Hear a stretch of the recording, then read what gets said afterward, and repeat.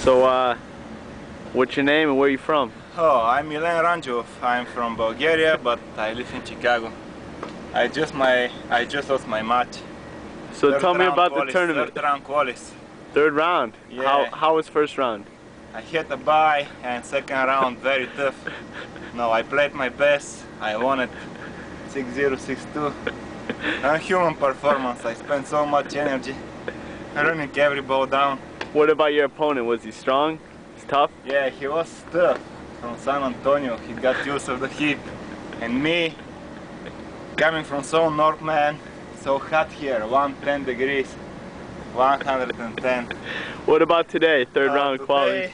Canadian guy, Canadian guy, he he's good. He beat an Indian guy 6-0, 6-0 previous round. Now I try my best. You What was the score? I was into the match.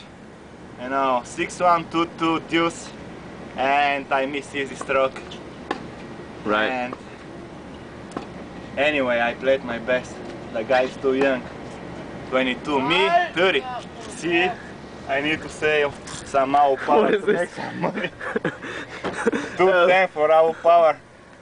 And see the t-shirts? You know, I'm a coach, I like the trying to play a little bit just to stay in What does shape. it say? Overgrinded and underpaid, you know. I teach so much. See? See the bump on the wrist? That's from teaching, man. You know, overgrinded and underpaid and still alive. But you had a good tournament. You won. Yeah, you got absolutely, two matches. absolutely. Your first round, you didn't yeah, lose the a best game. player from my home city ever. Where's that? What's the home city? Home city, Montana, Bulgaria. Montana, Bulgaria. 50,000 people, two courts, man. 50,000 people, two courts. All right, man. Good It job. was tough, man. Good But work. I made it, I made it. All right. Okay, See ya. see you later.